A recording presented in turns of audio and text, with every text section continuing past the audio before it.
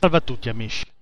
Gli attacchi con le armi ad energie dirette attraverso le organizzazioni paraterroristiche militari degli occulti delle SS di Roma Capitale uguale MK Ultra Capitale stanno continuando con gli attacchi, con le manipolazioni, con i lavaggi del cervello, con le comunicazioni telepatiche e tanto altro mi stanno arrivando numerose email di aiuto, numerose email che cercano una parola di conforto e cercano una soluzione.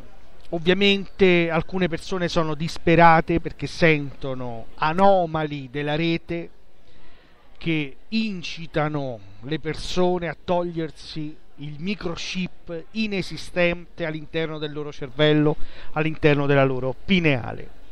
Il microchip non esiste, noi rileviamo le radiofrequenze transcraniche sparate dal sistema satellitare in frequenza d'onda convogliata con parametri a fotoni o a frequenza laser che viene riconvogliata all'interno dei nostri alloggi, all'interno dei nostri luoghi di stazionamento, all'interno delle macchine dove noi stazioniamo o viaggiamo.